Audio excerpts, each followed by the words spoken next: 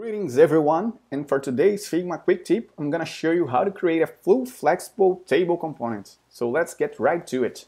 The First thing to do is to think of each element of each column of my table.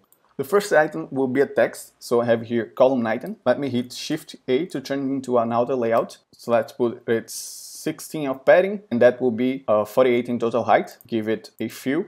I'll also add this sorting icon here, and I'll create uh, some variations of it with sorting down, sorting up, and no sorting at all. I'll also create an empty one for the columns that won't have a title, and that will be clear later. Select all of them, come here to components and create component set, column title, enable them properly, sorting down, sorting up, no sorting, and empty.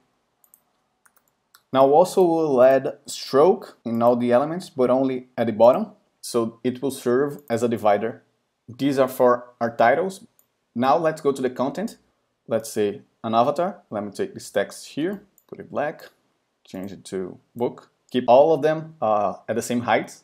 Add the fill, stroke. I can have it label.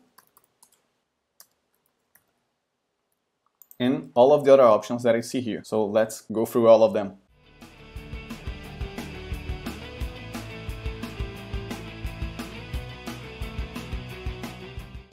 Okay, so now I've created all the cells variations that I think I'll be needing to my table. And doing so, I made sure that all of them have the same height, which for me in this case is 48, but you can use whatever you want. And also they always have this stroke at the bottom to serve as a divider once they are put together. Let's select all of them, create component set, call them table items. I'm gonna use them to build my columns and I will create the column as a component as well. Take one of these, bring it here, I'll call it user, take this, duplicate it, select all of them, Shift A to add an auto layout, call it avatar, avatar column. And for this case, I'll put this as fill to follow the size of the cells. Then I can do the same for my other table items. So let's say I want this table cells to be draggable. So I'll have, and in this case, since I don't have any label title here, I use this empty one. So that's for what it is. Duplicated, add an auto layout, Shift A. Remember to put the same amount. But actually for do the others, duplicate this, select all the table items and simply change it here for checkbox. And let's keep doing this and I'll skip it forward once again.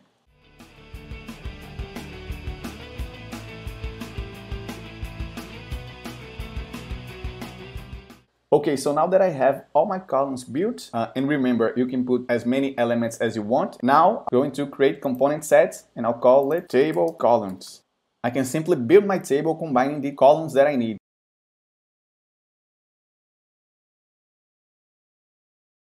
I'll select it, all, Shift A for auto layout, call it table. And here you have two options. You can either create a table component with the full set, or you can build every new table combining the columns. The thing is that now you have all the elements that are based on atomic design principle, and every change will reflect on all your tables. Easily you can swap the content. So let's say I want this drop down to be a simple text, I can simply go here and change to text column, and I can do this for every single column like this. And the same goes for the title. If I don't want this to be sortable, I can simply double click here, base components, and then change into sorting up or sorting down or even no sorting at all.